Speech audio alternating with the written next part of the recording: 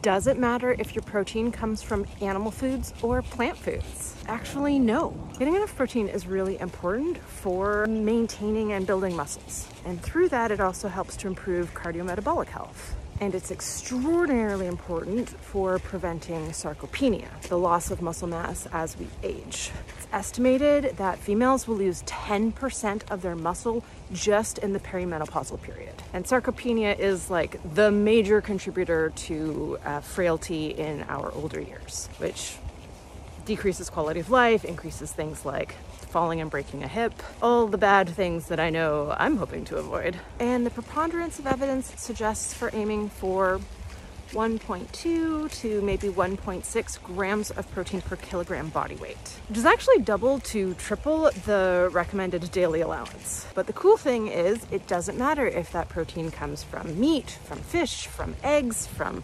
tofu, from legumes, or from broccoli with the caveat that we want to be getting protein from diverse sources. There are nine essential amino acids and six additional amino acids that are considered conditionally indispensable, which means we can make some, but most of the time we probably still need to get them from food. And what we call a complete protein is a food that delivers good amounts of all nine essential amino acids. Almost all animal foods are complete proteins. The only exception that I can think of off the top of my head is collagen or gelatin whereas most plant foods are incomplete proteins. Complete plant proteins include soy and soy products, hemp hearts, quinoa, buckwheat, amaranth, and the classic vegetarian combination of beans and rice. But here's the thing.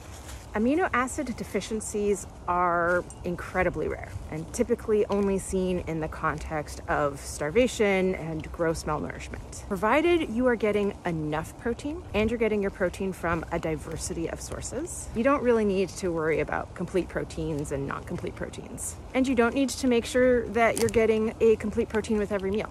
You don't have to have the rice and beans together. You can have rice at one meal and, and beans at the next. So from the perspective of getting the protein our bodies need to make all of the proteins that we are made out of and to assimilate into our muscles, as long as you're getting enough protein, it doesn't matter what foods that protein came from.